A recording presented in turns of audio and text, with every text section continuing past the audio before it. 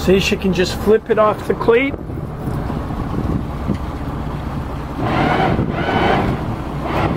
Or throw it on the dock and pull it up one at a time. Hopefully the rope does not get wet. If it gets wet, it gets heavy. Valves free. Here we go. We just enjoyed lunch over there at a Sailor's Return, Stuart, Sunset Bay Marina. Okay, so you can see the winds took the bow first. We've got a bow thruster and a stern thruster.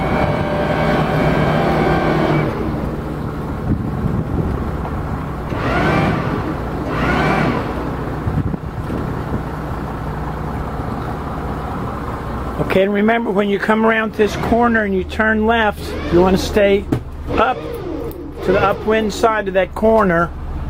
We watch that outboard boat get real close to that 90 footer. Good. Keep it in gear. You cannot steer if you're not in gear. Just put in forward gear, hard left rudder.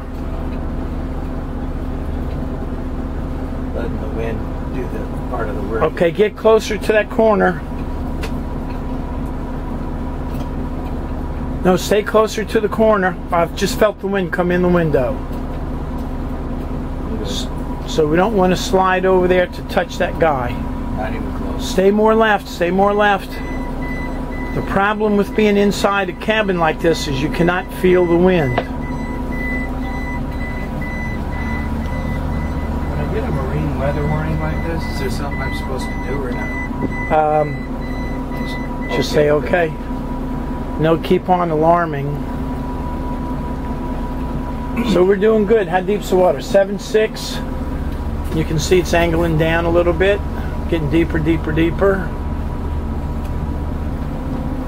Okay, so let's go home before the rain kills us.